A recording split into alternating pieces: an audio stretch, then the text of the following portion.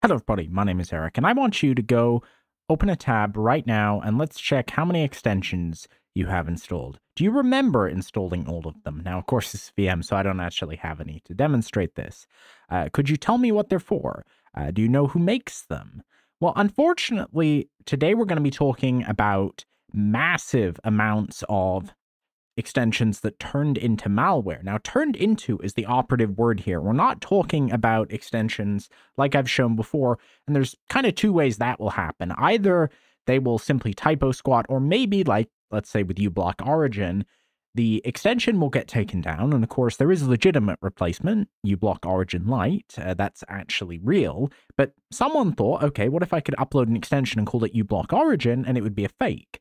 That's one way or edit these cookies as we looked at about a year ago. Unfortunately, what's happening here is different. Now, Chrome extensions are very hard to monetize in most cases. By monetize, I mean like make money. That means developers will sometimes either abandon them or think, okay, how could I make some money doing this? And unfortunately, what's happening is shady entities are going around offering money to buy out an extension and then adding malware. Now, this has been happening on a small scale, but it seems like Shady Panda as Koi Research are calling them, uh, have really gotten off to the races on. Now, some of these are basically doing the browser equivalent of a rat, running hourly, downloading and executing arbitrary JavaScript with full browser access. Now, as you know, in the modern world, so much of what we do is in the browser, right? You know, I'm managing my YouTube channel in the browser. Uh, if you're into crypto, you're doing your DeFi in the browser. You do your online banking in the browser. So an extension has a lot of the same power that a spyware would uh, but it also unfortunately doesn't have as much eyes on it. So first of all, uh, we're just going to do a quick break for our sponsor. Malware hides in the places you'd expect, and plenty you wouldn't. Browser extensions are commonly installed and just as quickly forgotten. But in today's browser-driven world, they're every bit as dangerous as traditional software. That's why this video is sponsored by ThreatLocker, the zero-trust cybersecurity solution that blocks threats by default, extensions included. Instead of chasing every possible threat, ThreatLocker flips the model. You choose what's allowed, and it blocks everything else without explicit approval. How it works? Three easy steps. 1. Install ThreatLocker. Starts in learning mode, observing the software you need. Let it learn. It maps the apps, scripts, services your team actually uses. And step 3 switch to protected mode, and anything unrecognized is, is denied by default. ThreatLocker maintains a live list of approved applications, so the updates you trust keep rolling, and its patch management tells you when unpatched software could put your business at risk, and it doesn't stop at allow or deny. With application level ring fencing, you can lock applications to specific folders and resources, remove internet access from tools that don't need it, and control exactly how approved software is allowed to behave. Ready to move from reactive to proactive security? Strengthen your organization's security posture today at threatlocker.com slash Eric Parker. Now back to the video. Now, one of these extensions was apparently featured and verified by Google. Let's see. I think it is gone now. Hopefully it's gone. But Clean Master was supposed to clean up your PC and clean up your Chrome, and uh, it was extremely trusted. Now, some of these keeps tabs and it records everything you're doing sends it all off to servers in China. Now, WeTab was another popular extension, and let me just see if we can go to archive and find what was here. Now, this one looks a lot like the spam network that we found a year ago, and this one doesn't look like it's pretending. Looks like it's quite open about the fact this is Chinese. So it's a widget-based that allows you to create. So it's basically a new tab page, and it had 3 million users. Interesting. And let's see we can find the privacy policy. Now this is going to be the Chinese privacy policy. There could also be an English one. Uh, and we can see here, uh, Chongqing Sentinel E-Commerce Co. Limited. And there uh, WeTab AI, AI translation, AI PowerPoint generation. Now, I don't quite understand what AI, all this AI has to do uh, with a, a aesthetic new tab. So we go Okay, so it looks like they've just got a completely generic privacy policy that isn't really relevant to uh, the actual program. Now let's see if we go to wetab.link. Do we get, is there anything left? Oh, they've actually got a response. So we will take a look at that. Now, is there any of this still up? Oh, it looks like there is still a new WeTab up. Uh, but let's let's read their uh, response. We'll we'll go through this as well. So the wallpaper hustle. So these were the wallpaper extensions like what we just looked at.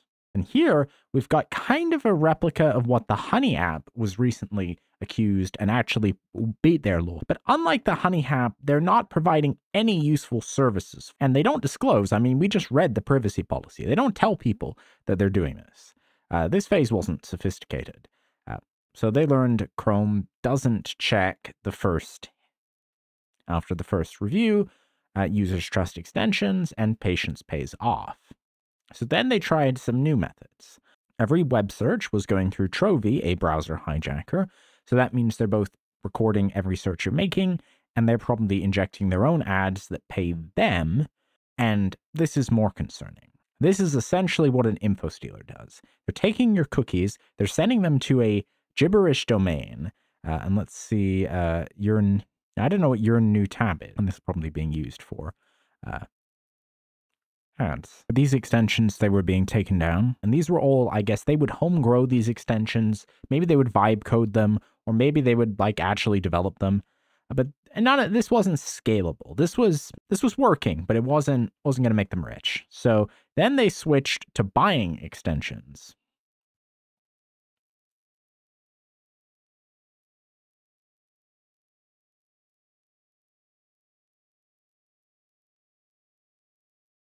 So they push this in, uh, and now these are all malicious. So this was a speed test extension that would help you test your internet performance without having to go to another website. So this one, it would call this API.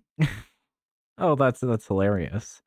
Uh, so uh, in this uh, spicy named JavaScript, uh, they would fetch new configuration, and then it would Let's see where the execution is. So it would actually just be downloading code remotely. Now, this should never be allowed in an extension. And as a result, that also means that security researchers cannot reliably determine what the actual intended fraud is. So uh, this monitors everything and exfiltrates everything. So this is basically, if you've ever seen the videos where I would use MITM proxy to monitor potential spying, this is doing that without secretly without your permission. So that's a huge concern and then they encrypt it manually so that you won't be able to tell what they're doing. So uh, stops doing malicious behavior when you uh, open that. Uh, it's man in the middling you. And now they got five big extension. WeTab, of course, which we're going to take a look at. So this is a stunning pattern of success. Now, I actually got a reach. Uh, I, I, I uh, actually got someone who'd worked in China on one of these browser hijackers. I'm not going to say which one. Actually, did reach out to me talking about how they did it and sort of how they would build it, mainly around monetizing with ads and trying to toe the line such that it wouldn't constitute malware, but it would be functionally pretty malicious. So here we have from these people, and they actually posted this on WeChat. Explanation regarding recent security reports mentioning browser extensions such as CleanMaster, WeTab, and Infinity. A recent security report released by a foreign security company linked browser extensions to a long term malicious campaign. Some outlets have followed up with further reports, raising concerns among users about the data security of our products. Now, we take this matter very seriously and we understand everyone's concern course, I should point out this is an AI translation, so there is a possibility this could be wrong, but I, I think directionally this looks correct. And the initial, yes, that's true. Oh, Salient. Oh, that's interesting. So these Chinese developers are saying this could be true then, but it was on WeTab.link. So the Chrome version of CleanMaster was sold to a third party. From the date of the sale, they no longer have any form of control. Okay, they're saying it's not uh, that. Okay, and they're saying that it was because of their other one getting canned. Well, maybe. So let's try this out. Let's just see. Now, very possible, regardless of whether they're lying there or not, they will have probably scrubbed it, but let's see. Okay, so immediately our uh, search was taken over. No, actually, that's our new tab. That's actually what it was supposed to do. Uh, and we do have a WeTab AI and AI PowerPoint, so it does look like there's some features here, and it's taken that over. Now you can always find, if you have a Chrome extension, you want to look at the code, you can always find that within your user profile. And then we can go to extensions. And because we only have one extension, this is going to be pretty easy. And there have been a lot of versions of this. I already see quite a bit of code. I'm just going to download a code editor so that I can actually read this. Okay, so now that we've got our IDE installed, we can just open this in Visual Studio Code. And we can take a look and see is there anything anything weird going on here. It's quite a big uh, JS, but that doesn't mean anything usual. Because minification is normal. Obfuscation is not. So I'm actually going to throw this through a JS beautifier. API obtain tool list. Nothing in here that's instantly throwing up red flags. So it does appear that the current version of WeTab uh, was cleaned up, but there, I still have a lot of questions with that response. Like, I've never heard of the idea of if you're going to sell your Chrome extension and the legit one is running out of the same Chrome account. No, I, I don't believe that. That seems really sketchy to me. So it's possible that some of these were getting bought up. Uh, that has been known to happen. It's also possible that that's just a technique so that they can go back to what they were doing. Yeah, and it, it feels like, uh, yeah, because here in this security merge report, they're explicitly calling out uh, WeTab, and they're trying to say that WeTab didn't do that. Well, maybe it doesn't now because they got caught, but I, I, I, don't know if I believe that. Uh, maybe the problem is they were sharing their Chrome Store account with the malicious developers, but my personal opinion is you don't get a second chance if you do something like that. If you sell your extension to a malware developer without telling anyone, I, I honestly, I, I don't care who who's distributing the malware. I'm just going to kind of think of you as both not really being very trustworthy and avoid uh, your products. I did want to share another way that I've seen malicious extensions get distributed. Let's just go, I think this is going to go to Mediafire, and let's see if we get any of these kind of ads that I'm looking for. But with the infamous download buttons, one of the common things, because it's cross-platform, just as deadly and less detectable, is you'll find a Chrome extension. Let's just give this a second to load. This is Linkvertise, which I think is less malware ridden than AdFly was, but it's also far more confusing. Like, I, I don't even understand how I get to, I, I, but I want the download. I don't want to. Okay, so we could get link. Oh, skip. It's there. Okay. Okay, that seems like some sort of hell. It's like, well, you got to click. What? I have to wait an hour if I don't want to pay? I've never seen such an. But this is what we actually wanted, Mediafire. Is this one real? Okay, it is. Okay, it's a real one. Okay, that's a PDF adware. I'm just going to have to keep going until we get the one we want. Okay, well, given my incredibly bad luck, where this is one time I cannot actually find such an example, I'll just uh, pull a clip from one of my other videos where I encountered this. But basically what happens is you'll get a prompt that either appears to be the download, and then it'll say it's some sort of free security extension. When you install it, uh, the extension will not really do anything useful for the user, but it will get installed and they'll forget about it because why wouldn't they forget about it? Ultimately, uh, the extension sits there, collects their data, and hopes that they don't realize. Another way that these extensions, which are kind of becoming a growing problem, and to be fair, there's a lot of reasons why you would want to install extensions. There's plenty of useful ones, but I, I do really suggest keeping the number of extensions to a minimum. And if you are going to use any extensions, make sure you're getting the real one. Like if we go to Chrome Store, let's see how many fake uBlocks we get. Uh, uBlock are, is this actually real? Okay, it is. You can tell because I mean, we know who makes that one. So it looks like they got rid of the fake. Uh, this one doesn't look quite right. uBlock B V3 offered. Yeah, that, that doesn't look that doesn't look quite right.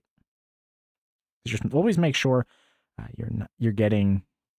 Uh, the funniest thing would be if it actually put ads on. Let's just see. Does it actually even block ads? Looks like it does block ads at least. But of course, that makes sense because it's easier to get caught if it doesn't. So it simply has a fixed rule list. And then the background JS should be Send message. So far, this just looks like a really lazy ripoff, but I would not trust it because what will probably happen is this will eventually get swapped out for something that's uh, less legit. So I don't think this is quite finished yet, but it does look like there's some planned uh, scraping functionality. Uh, so I, I wouldn't install this one. So do check, uh, make sure if you got extensions, make sure they're the real ones. Luckily, with especially this is like one of the good things of Manifest v3, if an extension suddenly needs a new permission, it's now going to have to tell you.